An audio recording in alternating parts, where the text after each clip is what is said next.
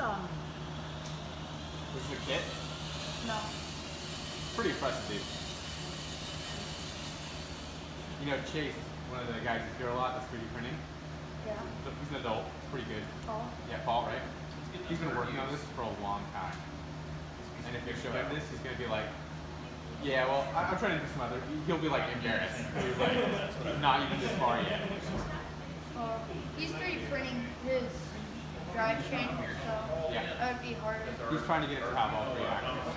Yeah. That's freaking awesome.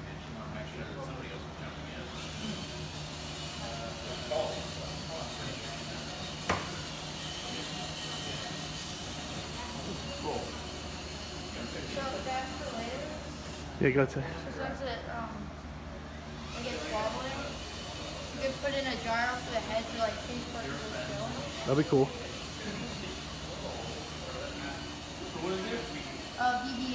Oh, okay. This is gonna be a big one, huh? Yeah, it's 20 inches in diameter.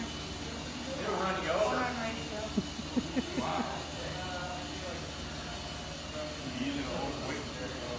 We'll take it for a test spin.